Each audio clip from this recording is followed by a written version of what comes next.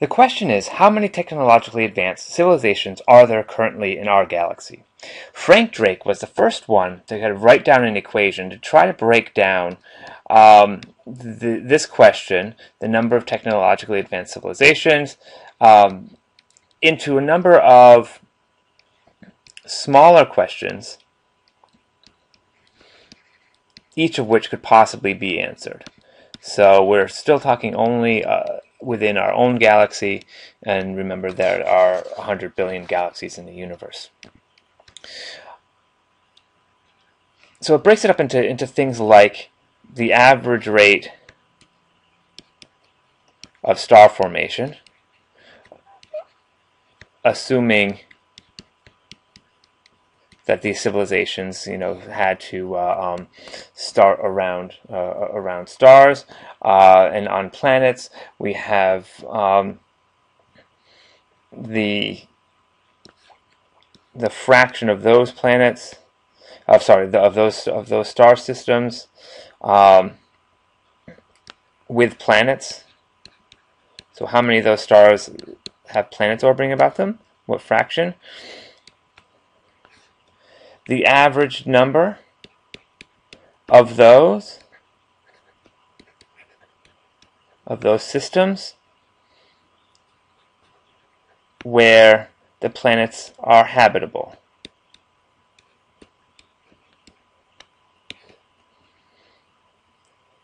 Multiplied by, and we're going to kind of add more terms here, multiplied by, um, let's say, the fraction of those where life starts. Multiply by the fraction of those. Where intelligence arises, multiplied by the fraction of those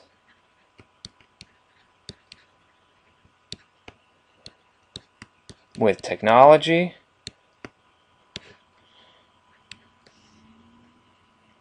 times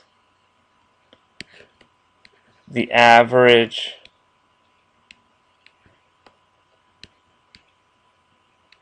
lifetime of a technolog technologically advanced civilization. How, do, how long do they last? So we're going to estimate these terms. Now, one thing you should notice is that the terms go from things we might actually have a pretty good clue about to things that we really don't know, almost in that order. So we'll have confident answers of some of these terms. Some of these terms are going to be pretty speculative, but we have some reasons to believe uh, other ones. So for instance, the average rate of star formation, there's about 100 billion um, stars in the Milky Way galaxy.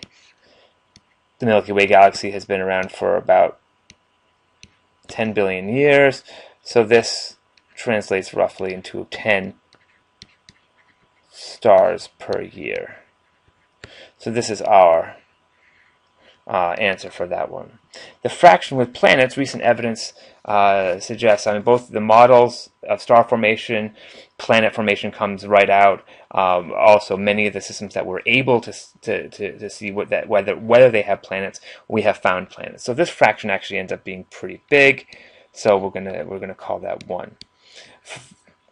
The average number of these where um, where it's habitable, we don't really know because we only have our own solar system to, to, to gauge, and that's about you know one planet Earth out of about ten objects.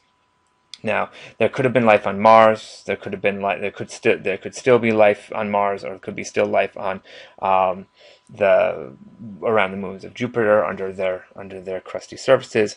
Um, but this we'll, we'll leave this as one tenth, um, and that might change uh, as we go through. But that's an average value. It might not be horrible. The fraction of those where life uh, occurs is actually uh, we can actually write that down as as nearly one, and the reason is the following: the um, there are two lines of evidence. First of all, uh, the chemical reactions uh, give rise to um, to the building blocks of life fairly readily. We see organic molecules on asteroids. We see um, uh, in experiment we can generate them very very easily under the conditions of like an old Earth. Um, also, uh, the it's found the fossil evidence of life shows that after a fairly short time, uh, uh, a few hundred million years after the Earth became habitable at all, life started. So that was a very short time. So it seems as if the, the chemistry would, would lend itself well.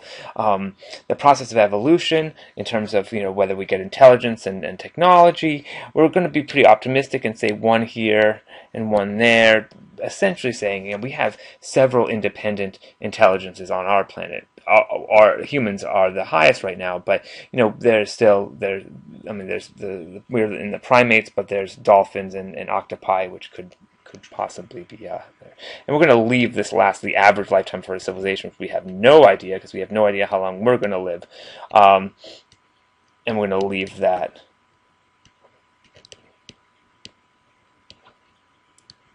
Here. Okay. So now we have is we have you know our 10 here cancels with 1 over 10 and everything else is 1 and so the equation actually simplifies down uh, rather nicely. Let's move this move this out of the way, and we'll rewrite the equation uh, with everything having canceled. Essentially, that the number of technologically advanced civilizations in the Milky Way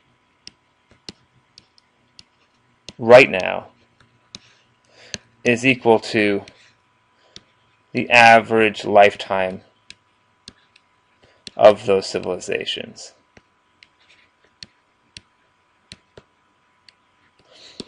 So for example, if this number is a thousand, then we would expect there to be a thousand. So if this is a thousand years, if our civilization would last that long, then uh, we would expect there to be about a thousand currently in the Milky Way galaxy. If, if however, this were a million,